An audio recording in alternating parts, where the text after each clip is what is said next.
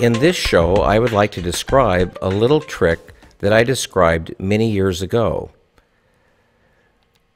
Notice how I'm holding the syringe. In my lecturing internationally, I'm talking to colleagues constantly, and most colleagues will hold a syringe the same way as they'll hold an anesthetic syringe. Notice how my index finger and my thumb are on the two wings, which allow me to pull, and that would push irrigant through the cannula. Then I can push and vacuum irrigant out of the canal. Let's take a look at that in the maxillary first molar MB1, MB2 shape systems.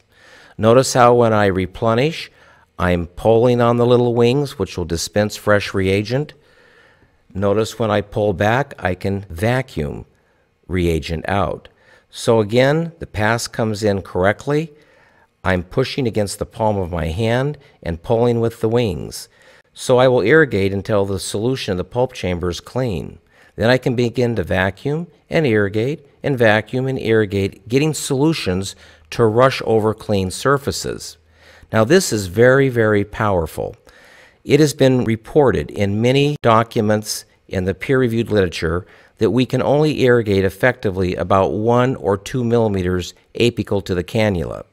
In this plastic block around the recurvature, you can see the cannula is probably as much as five to six millimeters away from length. Notice how I can pull solution and debris right from the terminus right back up into the cannula. So we can effectively, using this trick, move reagents around curvatures five to six millimeters deeper than the actual level of placement of the cannula.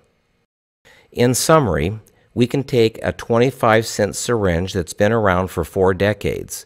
It is true we have different choices on the cannulas that will attach in a luer lock method to these syringes and of course, the syringes vary in their milliliter capacity, but the take home message is how you hold the syringe and how it's passed to you and how you dispense solutions.